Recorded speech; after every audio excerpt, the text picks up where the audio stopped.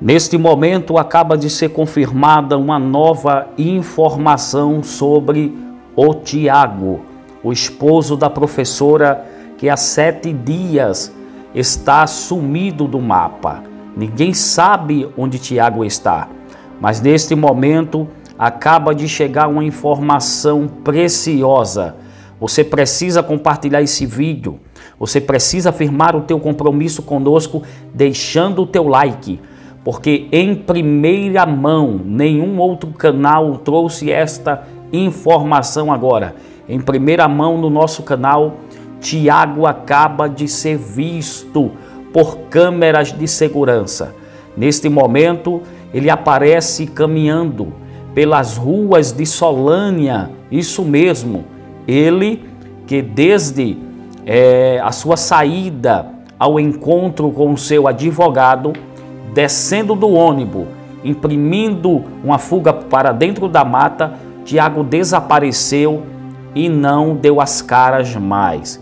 A família está preocupada com ele, porém, agora flagrado por câmeras, andando, passeando lentamente em passos largos pela cidade de Solânia, uma das ruas ali pacata de Solânia.